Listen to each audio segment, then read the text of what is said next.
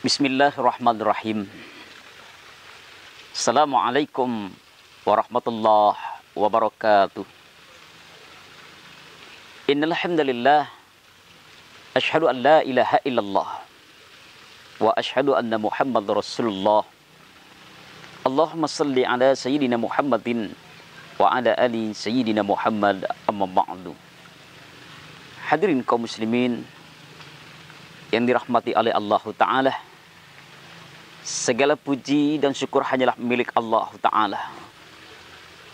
Saat ini, detik dan menit ini, di hari yang mulia ini, Allah masih memberi kita kesempatan lahir dan batin. Semoga pertemuan kita hari ini menjadikan keberkahan untuk diri kita, umat dan bangsa ini insya Allah. Selawat dan salam pada Rasulullah sallallahu alaihi wasallam Allahumma salli ala Sayyidina Muhammadin wa ala ali Sayyidina Muhammad. Hadirin kekasih Allah yang dimuliakan Allah. Rumah yang pertama kali yang dibangun di atas bumi ini bukanlah rumah ayah ibunda kita. Bukan rumah pemimpin negeri, tidak tapi yang pertama kali dibangun oleh Allah di atas bumi ini tidak lain dan tidak bukan adalah Baitullah. Di dalam Al-Quran yang mulia, bertempatan dalam surah Ali Imran, ayat yang ke-96, Allah Ta'ala menjelaskan dalam ayat yang mulia ini. Apa kata Allah? Bismillahirrahmanirrahim. Inna awwala baiti wudi'a linnas lalladzi bi Bakkatu mubarakan wa hudan lil alamin. Kata Allah Ta'ala. Sesungguhnya rumah yang pertama kali dibangun oleh Allah untuk manusia di atas bumi ini tidak lain dan tidak bukan adalah Bakkah. Artinya Makkah al-Mukarramah. Dan di situlah Allah memberikan petunjuknya kepada manusia. Artinya apa? Hadirin yang dimuliakan Allah. Andaikan kita tidak ada kemampuan finansial untuk berkunjung ke Baitullah, berhaji, ataupun ibadah umrah, kita masih ada rumah Allah yang lain. Tapi satu namanya, yakni masjid-masjid. Rumah pertama kali dibangun di atas bumi ini adalah Makkah atau Makkah Al-Mukarramah, Baitullah. Tempat bumi itu menempatkan porosnya. Seorang astronot berkebangsaan Amerika, ada yang berkebangsaan India, Beliau mengatakan, mereka mengatakan ketika mereka berada di atas angkasa, mereka lihat itu bumi. Apa yang ternyata mereka lihat? Mereka berkata, di bumi ini ada yang tempat yang paling terang dan bercahaya. Mereka berkata, sepakat. Apa itu? Makkah al-Mukarramah tempat kita melaksanakan tawaf tujuh kali putaran. Sa'i antara Safah dan Marwah tujuh kali kita bolak-balik. Maka dalam ayat Al-Quran ini, pertama kali yang dibangun oleh Allah di atas dunia ini, tidak lain dan tidak bukan adalah Mekah. Kisah-kisah Nabi Allah, Nabi Allah, Nabi Allah.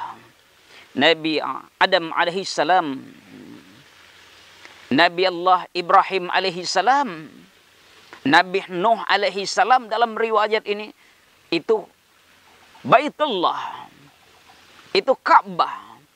Menurut riwayat pernah tenggelam pada masa Nabi Allah Nuh alaihi salam. Hancur. Hancur.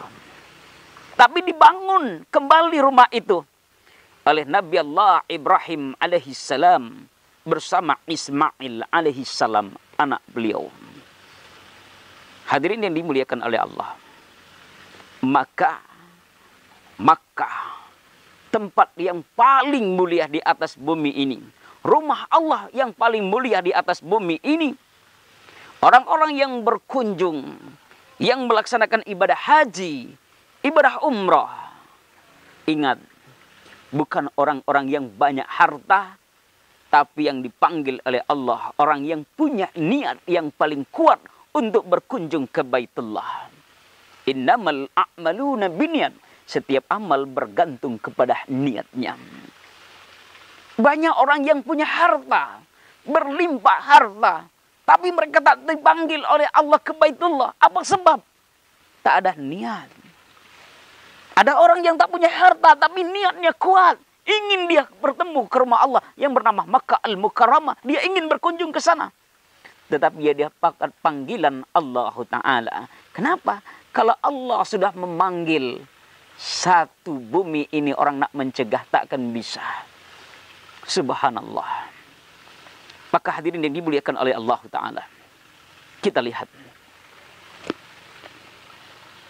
Nabi Allah Ibrahim alaihi salam pernah berdoa yang mana tempat itu bernama Makkah Al-Mukarramah. Beliau berdoa, "Ya Allah, jadikan tanah ini Maksudnya Makkah dan sekitarnya itu tempat keturunanku. Subhanallah. Diselamatkan. Doanya dikabulkan oleh Allah Ta'ala. Maka Makkah Arab Saudi itu menjadi tempat yang damai. Maka Al-Mukarramah menjadi tempat yang tenang bagi kaum muslimin dan muslimat untuk menunaikan ibadah kepada Allah Ta'ala.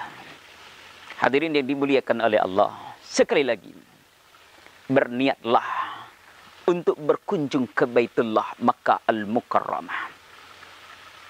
Tetapi kalau kita sudah berkunjung ke Baitullah, berhaji, berumrah, pesan kita. Ingat, saat kita berhaji, meninggalkan anak, meninggalkan istri, meninggalkan pekerjaan, meninggalkan seluruh apa yang kita miliki selama 39 hari, 40 hari. Sanggup tetapi setelah kita kembali ke Baitullah menuju tanah air ini, berapa orang yang sanggup meninggalkan istri? Berapa orang yang sanggup meninggalkan harta mereka?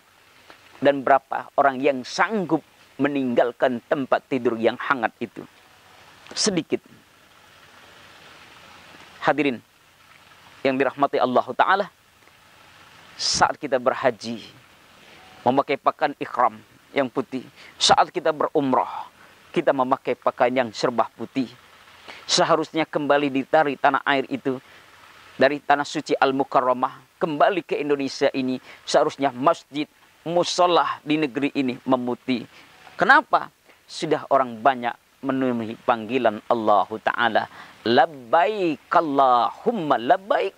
Labbaik la syarika lak labbaik. Hadirin yang dirahmati Allah Ta'ala. Kesimpulannya, sebaik-baik rumah yang ada di bumi ini tidak lain dan tidak bukan adalah Makkah Al-Mukarramah. Salat kita di Masjidil Haram pahalanya sungguh amat luar biasa. Kenapa? Masjidil Haram diabadikan oleh Allah di dalam ayat-ayat Al-Quran sungguh banyak.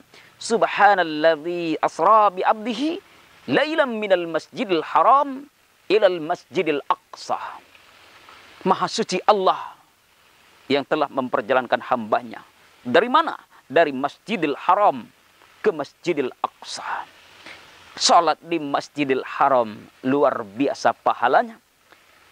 Tetapi andaikan kita tak mampu menuju ke sana, salatlah di masjid-masjid yang terdekat dengan rumah kita.